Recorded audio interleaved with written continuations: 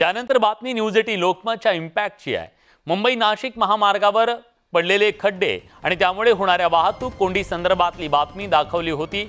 खड्ड्यांमुळे लोकांना तासन तास वाहतूक कोंडीचा सामना करावा लागत होता तर मोठ्या प्रमाणात अपघात देखील होत होते. या बातमीची सार्वजनिक बांधकाम मंत्री दादा भुसेंनी गंभीर दखल घेतली आहे.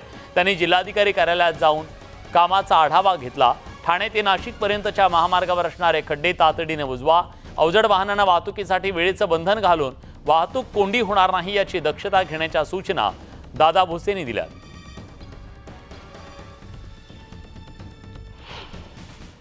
एम एस आर डी सीचा जो काही वडपेपासून तर ठाण्यापर्यंतचा पोर्शन आहे त्या संपूर्ण भागामध्ये जिथे जिथे मुलांची कामं चालू आहेत अंडरपासच्या संदर्भामध्ये ती कामं लवकरात लवकर पूर्ण करून त्या ठिकाणी ट्रॅफिक जाम होणार नाही याची काळजी घेण्याचा सूचना त्या ठिकाणी करण्यात आलेल्या आहेत.